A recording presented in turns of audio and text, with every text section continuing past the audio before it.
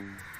नमस्कार दोस्तों, स्वागत है आपका फिर से एक बार हमारे चैनल पे। दोस्तों, जैसा कि आप लोग को पता है कि टाटा नेक्सॉन की थ्री लाख यूनिट सेल हो चुकी है और इसी को देखते हुए टाटा मोटर्स ने टाटा नेक्सॉन की चार और वेरिएंट को लॉन्च कर दिया है in edition with Kaziranga edition तो दोस्तों, आज हम लोग बात करने वाले हैं कि ऐसा क्या हुआ कि टाटा नेक्सॉन ने इतनी बेहतरीन परफॉर्मेंस दिखाते हुए मार्केट में तहलका मचा दी है। अगर हम बात करें एस सेगमेंट में तो Tata Nexon one of the best selling car है आज के डेट में।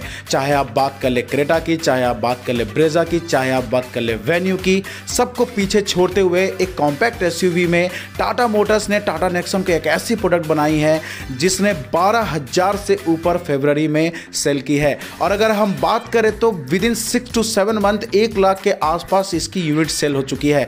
दोस्तों, इससे आपको साफ़ साफ़ एक बात तो ज़रूर समझ में आ रहा होगा कि टाटा नेक्सॉन को लेकर लोगों के अंदर क्रेज काफ़ी ज़्यादा है। उसके पीछे अगर हम बात करें तो सबसे इंपॉर्टेंट अगर आती है तो वो है सेफ्टी दूसरी अगर हम बात करें तो ट्राइड एंड टेस्टेड है। तीसरी अगर हम बात करें तो इसकी इंजन लोगों को काफ़ी बेहतरीन लगी पहले टाटा के गाड़ियों के कंपेयर में।